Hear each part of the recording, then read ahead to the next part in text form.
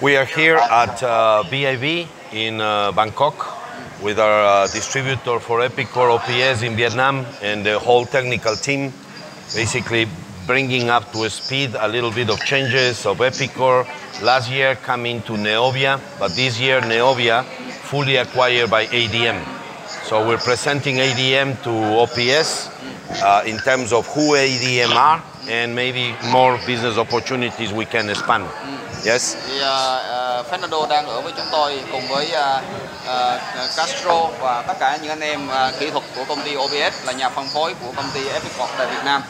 Thì uh, hôm nay Fernando muốn giới thiệu cho tất cả anh em biết được rằng là hiện nay thì uh, vào năm rồi thì uh, Epicor là uh, uh, bán công ty cho công ty uh, uh, Nevia và năm nay thì lại họ lại chuyển cái quyền sở sở hữu của công ty Nevia cho tập đoàn ADM với cái giá khoảng cỡ 1,4 tỷ đô la thì uh, Fernando muốn giới thiệu cho uh, các anh em mình biết là tập đoàn ADM nó lớn mạnh như thế nào và uh, chúng ta có những cái tiềm năng nào có thể khai thác về ADM tại thị trường Việt Nam.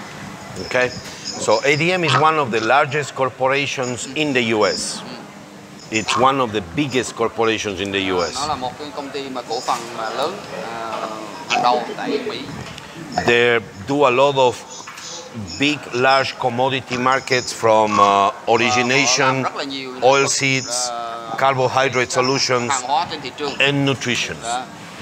Về ờ, ờ, về các cái về các cái cái cái thăng ờ, để mà chứa nguyên liệu và các cái hạt để mà tạo dầu à, sản xuất ra dầu và về các cái công nghệ mà sản xuất ra bắp để mà tạo ra carbon hydrate và ờ, và rất nhiều cái ờ, sản xuất những nhiều cái sản phẩm về dinh dưỡng Okay. This is our leading global agri-processor and food ingredient split market. thì họ là những công ty ờ, mà toàn cầu và hàng đầu về nông nghiệp cũng như là về thực phẩm à, cung cấp những cái, cái cái thành phần nguyên liệu quan trọng cho ngành thực phẩm In 2017, the company already factured all 61 billion dollars. ờ, ờ, ờ, tổng cái doanh số và năm 2017 ờ, 2017 18, 17. 2017 doanh số của nó là 61 tỷ đô la Uh, the company goes calendar, calendar year, so January to to um, December. có nghĩa là công ty của họ thì nó tính vào tháng 6 năm này đến tháng 6 năm sau và là kết thúc một năm tài chính And w- nó khác Việt Nam mình tí And we are a, a public and trading company. So after the year is finished, in this case 2018, still not official numbers because you need to publish the official numbers after Bởi vì nó auditing. là công ty về cổ phần và nó có trên sàn chứng khoán của ờ, Mỹ ờ, Nasdaq của Mỹ. Chính vì vậy là ờ, về công về tài chính nó được báo cáo hàng năm trên cái ờ, thị trường chứng khoán. As a company, we have over 800 facilities, production, manufacturing facilities in the world. là 800 ờ, cái ờ, 800 cái mặt hàng bán bán trên thị trường Việt ờ, trên thế giới And we are in the New York Stock Exchange market. và nó có trên thị trường chứng khoán Nasdaq của Mỹ Đó. Okay? We go a proven core model from especially corn, all seeds, and wheat, from sourcing, transport. We are here at uh, BIV in uh, Bangkok with our uh, distributor for Epicor OPS in Vietnam and the whole technical team, basically bringing up to speed a little bit of changes of Epicor. Last year coming to Neovia, but this year Neovia fully acquired by ADM.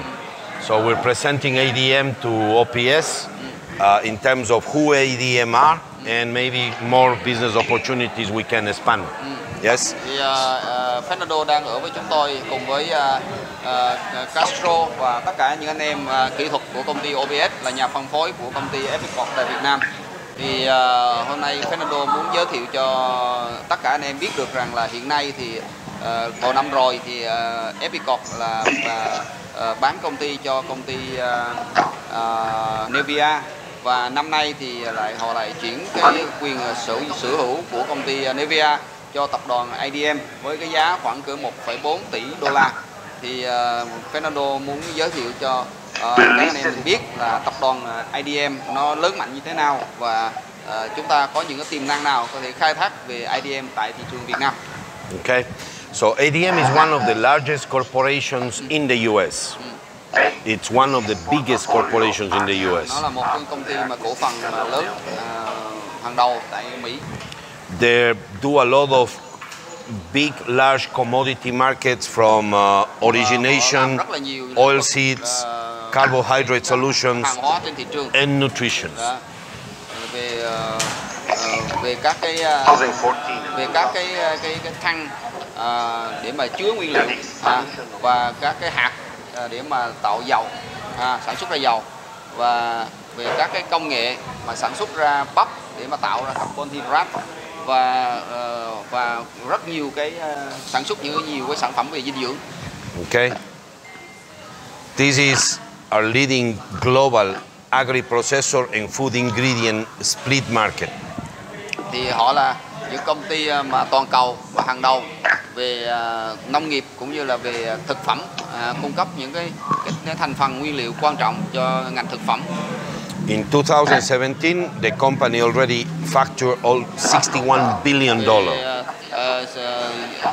tổng cái doanh số và năm 2017 ờ, 2018 17, 17. 2017 doanh số của nó là 61 tỷ đô la Uh, the company goes calendar, calendar year, so January to, to um, December. có nghĩa là công ty của họ thì nó tính vào ờ, tháng 6 năm này đến tháng 6 năm sau gọi là kết thúc một năm tài chính And À, w- nó khác Việt Nam mình tí And we are a, a public and trading company. So mm. after the year is finished, in this case 2018, mm. still not official numbers because you need to publish the official numbers after auditing. có công ty ờ, về ờ, cổ phần và nó có trên sàn chứng khoán của Mỹ Nasdaq của Mỹ. Chính vì vậy là về công về tài chính nó được báo cáo hàng năm trên cái thị trường chứng khoán As a company, we have over 800 facilities, production, manufacturing facilities in the world. khoảng là 800 ờ, cái 800 cái mặt hàng